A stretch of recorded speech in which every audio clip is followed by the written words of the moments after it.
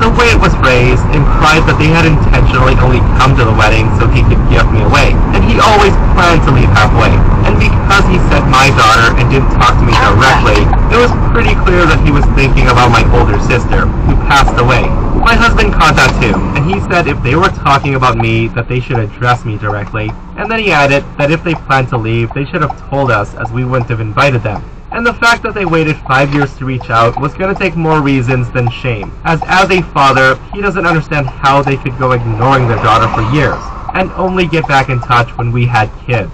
It was at that point my dad snapped that he wasn't going to take this from a cushy, which was a slur meaning dark-skinned. My mother immediately tried to run damage control, but I ended the call. They've since messaged me several times trying to explain that calling my husband a racial slur wasn't indicative of a racist attitude, and he would have never said that in front of my kids, so they should still get to meet them. I've spent five whole years wondering why they were so offended by me marrying my boss, that it earned no contact for half a decade, and it turns out that they're just racist, and it's almost nice to find out. If it was just the boss thing, I would have sympathy for them, and we might even be able to reconcile. But with this, it's now just a question of am I going to knowingly expose my mixed race children to a couple of races, which I'm obviously not going to do. Guys, I find it so surprising that their racism caused them to basically disown their daughter on her wedding day, and now they're wanting to come back into Obi's lives because kids.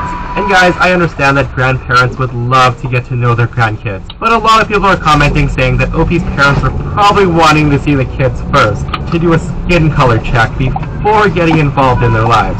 Now, regardless if that's their intentions or not, listen, in the end, I'm glad Opie protected her kids from the racist grandparents. Like, it's gotta be so hard to find out that your parents don't have the character that you assumed.